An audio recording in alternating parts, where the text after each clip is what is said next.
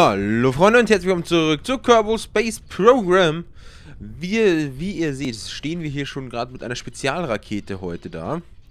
Und diese Rakete hat genau einen Sinn und zwar ist da oben ein kleiner Satellit drin, den wir in die Sonnenumlaufbahn stellen oder schießen sollen. Und ich habe gedacht, ich tue diesmal den selber bauen, weil es war relativ langweilig. Ich werde schon ein paar Booster ankleben, schauen, dass er viel Druck hat. Weil wir schießen das Ding einfach senkrecht nach oben. Da wird nicht viel passieren. Und ich habe gedacht, wir schauen jetzt einfach, was passiert. Also, 3, 2, 1. Ziel hinter der Rakete ist im Grunde, dass wir hier sehr hohen Schub haben. Allein jetzt schon 3,4. Und dass wir mit hohem Speed durch die komplette Atmosphäre durchballern. Ich glaube, wir können sogar ein bisschen weniger einstimmen. Ansonsten haben wir zu, äh, zu viel Druck. Und dann höher wenn wir hoch genug sind, auf Vollboost gehen.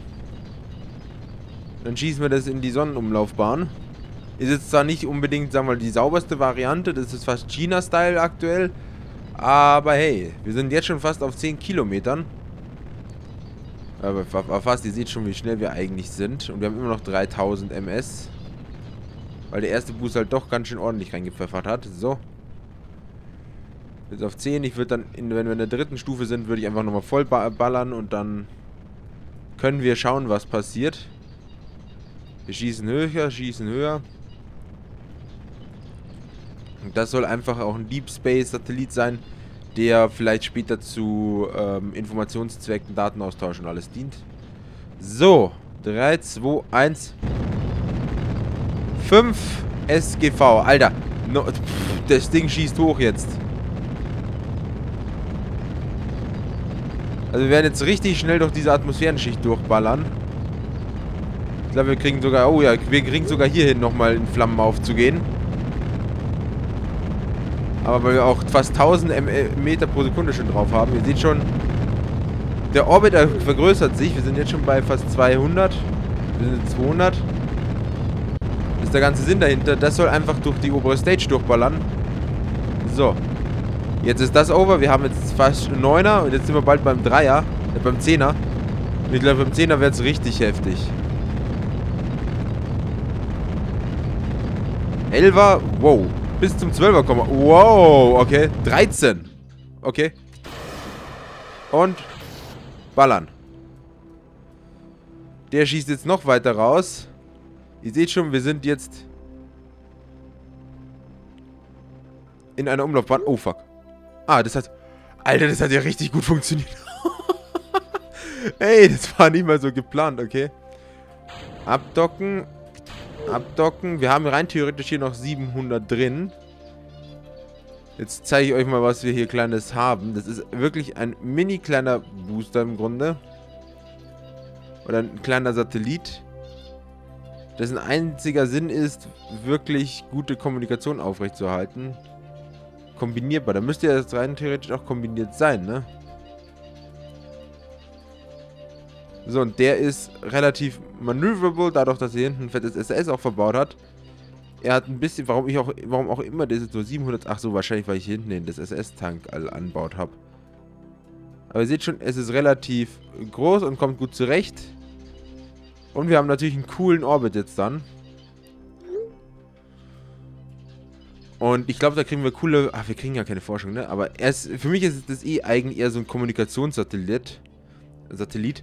Und ich würde halt immer in regelmäßigen Abständen jetzt so einen hochschießen. Das werde ich wahrscheinlich auch nicht auf den Videos drauf machen. Und die sollen einfach bestimmt cyclen, in bestimmten Modus, immer um die Planeten rumcyclen.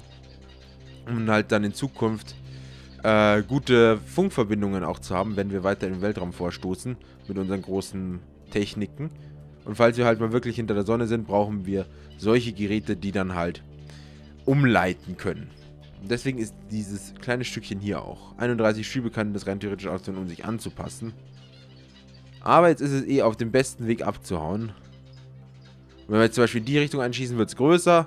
Aber natürlich, also das kommt auch darauf an, wo wir gerade starten. Das ist alles halt natürlich lustig. Jetzt mal halt es anpassen. Und der schießt halt doch mit großer Geschwindigkeit auch raus. das ist ganz schön ordentlich, du. Aber er schaut süß aus. Ich finde, das ist halt so ein... Schaut eher so aus wie so ein Piratenschiff schon fast. Da oben die Segel Das ist der Körper und das ist, ja, Ruder. Ansonsten dreht man so um. Hat man unten die Teile und hier oben den Kopf. Der kann halt Tele Telemetriedaten noch nehmen. Oh, guck mal, wir können Tele... Oh! Guck mal, wir haben Punkte übersehen. Wann das denn? Gut zu wissen, dass ich Punkte übersehen habe. Scheiße. Aber gut zu wissen. Und jetzt kann der das halt auch direkt weiterfunken rein. Der tut es eh reinfunken, oder? Nee. Aber ich brauche jetzt... Jetzt muss ich wieder rausfinden, wo ich da... Wie ich da die, die Daten reinkomme. Daten, hier. Er tut es eh wahrscheinlich wegschicken, oder?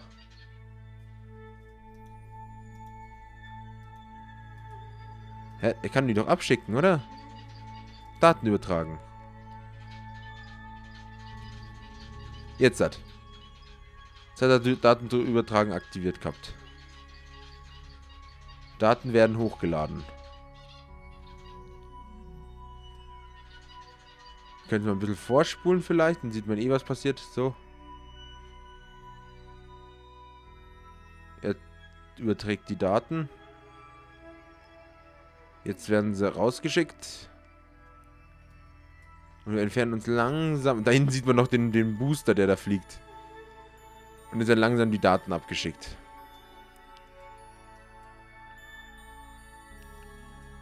Wir haben jetzt drei Telemetrie-Daten gewonnen. Und das Ding schießt jetzt halt einfach straight raus. Das ist alles, was es macht. Oh, Sonnenfinsternis. Und ja, schauen wir doch mal, währenddessen können wir eigentlich mal, wir haben hier noch in der Umlaufbahn natürlich unsere Sondoras auch ziehen, wechseln zu. Unseren anderen kleinen. Schauen wir mal, wie gut das funktioniert. Den wollten wir ja auch rausschicken. Der hat immer noch... Oh, der hat immer noch eh relativ viel guten Boost. Ja, das ist unser anderer Satellit. Ein bisschen größerer Satellit. Aber wir haben viele kleine jetzt auch unterwegs, wenn man so sagt, ne? So, schauen wir doch mal auf unsere Astegator-Karte.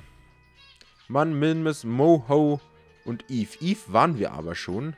Duna waren wir auch. Dres. Dres würde sich ausgehen.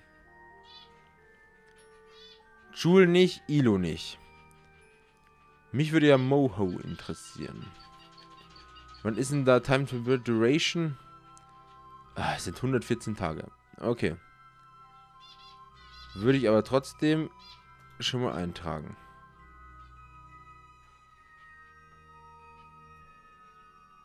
Kann ich den Manöverpoint hier in unserer... Ach, guck mal, wir haben hier sogar noch ein paar rumliegen. Aber kann ich hier Add... Maduva, Alarm...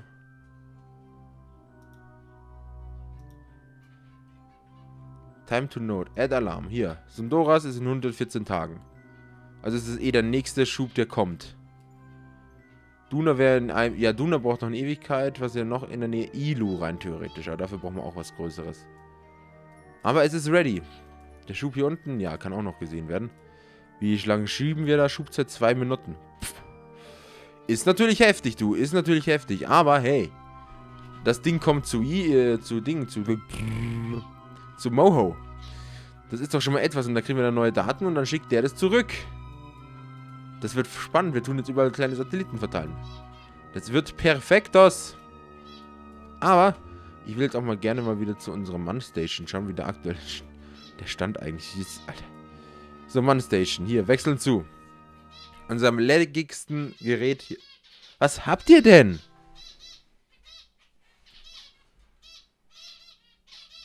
Die sind ganz schön nervig teilweise, das muss ich schon zugeben. Aber lustig sind sie trotzdem. Lustig sind sie trotzdem. Ähm, wir hatten unsere. Ach stimmt, wir hatten. Wir waren fertig, ne, mit dem Testflug. Wir mussten irgendwas noch anpassen. Irgendwas zum einen. Ah, wir sind ja auf der dunklen Seite des Mondes. Was ist denn das für ein roter Punkt? Aber ihnen scheint es hier alles noch gut zu gehen. Das ist natürlich perfekt. Was steht hier? Carbon Dioxide. Okay, ja. Der Strom dauert 57 Minuten. Der Rest 7 Jahre, 5 Jahre, 7 Jahre. Okay, das ist eigentlich vollkommen perfekt, so wie das ausschaut. Wie viel sind hier aktuell drin? 2, 4, 5, 6, Sechs Leute sind aktuell in der Station, die ist aber noch perfekt im Zustand. Nice. Welche Booster sind denn das? Zu was gehören die? Ach, die gehören zu dem kleinen Teil hier unten. Ja, das wird es nicht unbedingt weit boosten können.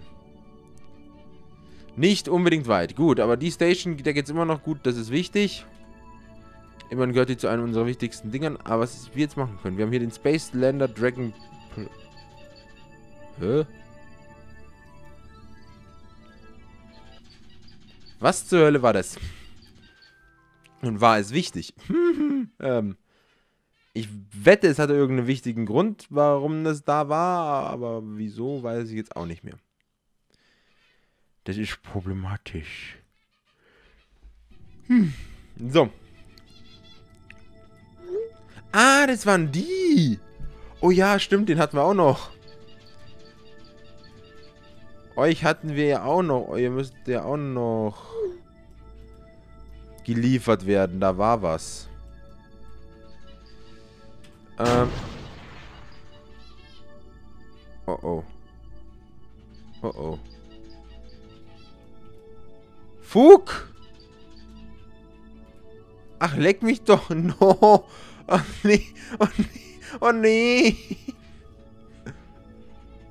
Aber können wir den Booster... Ist der noch steuerbar?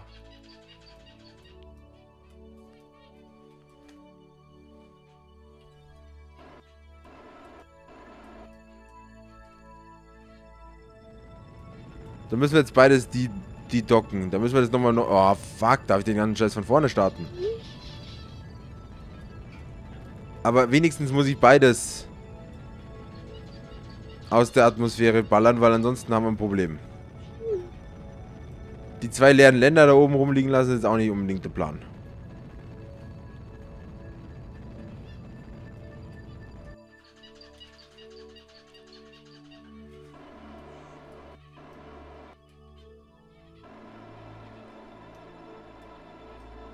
So, und jetzt hauen wir mal da voll seitlich gegen, damit die schön zum Spinnen anfangen.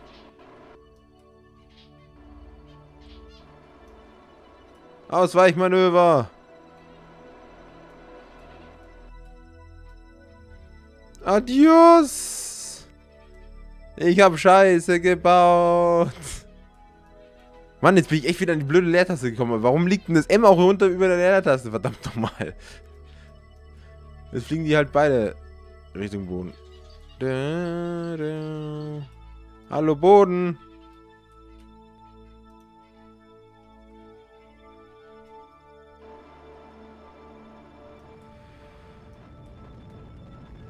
Wir sind zu schnell. Hui.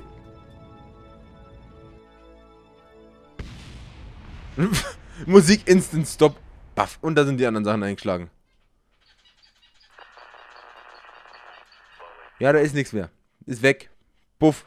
Kaputt. Ähm. So, Weltraumzentrum. Äh.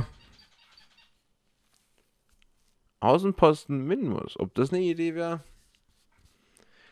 Wir waren auf jeden Fall lang nicht mehr auf dem Minmus. Jetzt ist die Frage, was für Punkte hatten wir da? Beziehungsweise was für Forschungen hatten wir abgeschlossen und was für nicht welche, ne?